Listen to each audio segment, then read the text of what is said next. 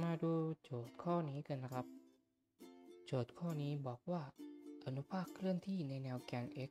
ด้วยความเร่ง ax ที่เพิ่มขึ้นเป็นเส้นตรงดังรูปนะครับ ถ้าความเร็วของอนุภาคที่ x เท่ากับ 40มิลลิเมตรมีค่าเท่ากับ 0.4 เมตรต่อวินาที โจทย์ได้หาความเร็วของอนุภาคเมื่อ x เท่ากับ 120มิลลิเมตร ก่อนอื่นเลยนะครับ ขออนุญาตเปลี่ยนจาก หน่วยมิลลิเมตรเป็นหน่วยเมตรนะครับผม 40มิลลิเมตรเนี่ยก็คือ 0.04 เมตรนะครับ 120มิลลิเมตรก็คือ 0.12 เมตรนะครับ และเรามาดูว่าโจทย์ให้อะไรมาบ้างนะครับ โจทย์ให้ก็คือที่ x เท่ากับ 0.04 เมตรเนี่ย จะมีความเร่งเท่ากับ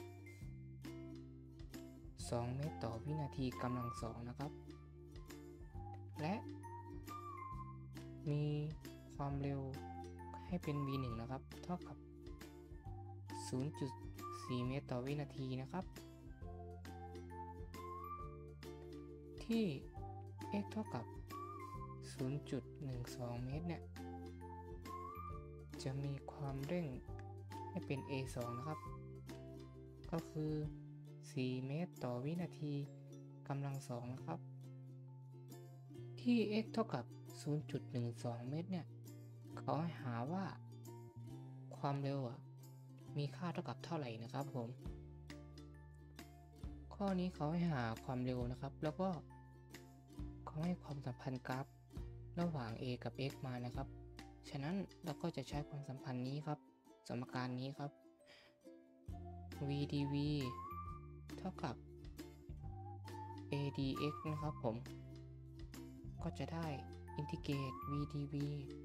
จาก v 1ไป v 2 v 1ก็คือ 0.4 เมตร ต่อวินาที v 2ก็คือเราต้องการหานะครับ เท่ากับ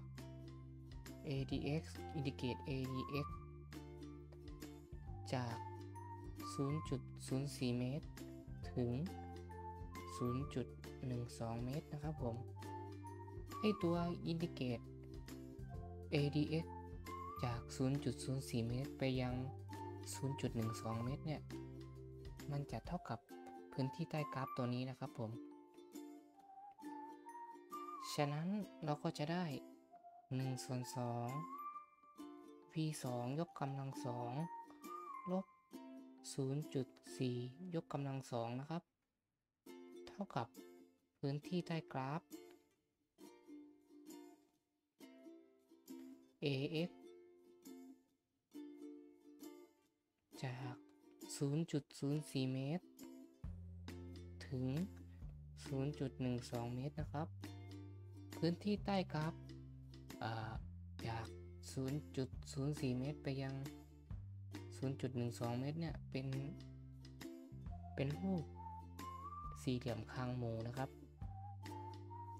ก็จะได้เป็นเศษหนึ่งส่วนสอง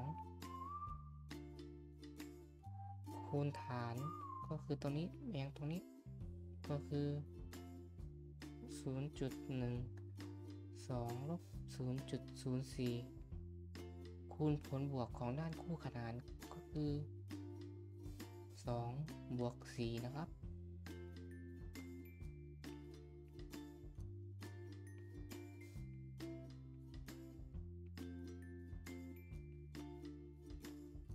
และเราก็จะหา v 2ออกมาได้ก็คือ 0.8 เมตรต่อวินาทีนะครับ ดังนั้นสามารถสรุปได้ว่า ความเร็วของอนุภาคที่ x เท่ากับ 120มิลลิเมตรเนี่ย หรือ 0.12 เมตร จะมีความเร็วเท่ากับ